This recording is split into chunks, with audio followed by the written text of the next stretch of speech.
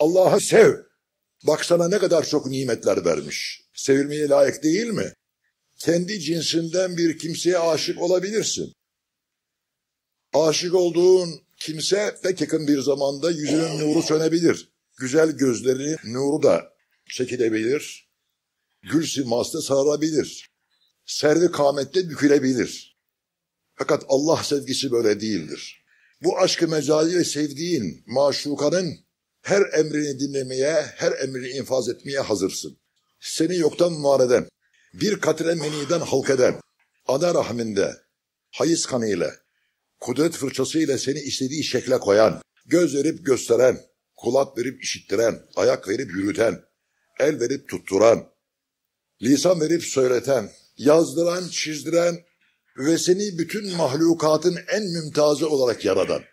Bütün mahlukat senin emrine verilmiştir. Cennet, cehennem, kürsi, arş, her şey senin için yapılmış. Hatta bir hadis-i ey beni Adem bütün mevcudatı senin için halk ettim, seni kendim için halk ettim diyor. Ve ilan etmiş, şöyle ilan etmiş. Estağfirullah. Ve ma halaktul cinne vel insa illa liyabudun.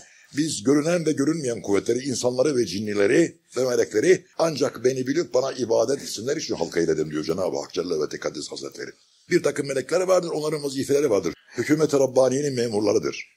Fakat cinlerle insanlar mücerret vazifeleri Rabbi bilmek, Rabbi bulmak, Rab'de olmak, Rabb ile olmak, Allah'lı olmak, Allah'lı bir gönlüne malik olmak şerefi insanoğluna verilmiştir ki evveli Adem'dir, Allah'ın halifesidir.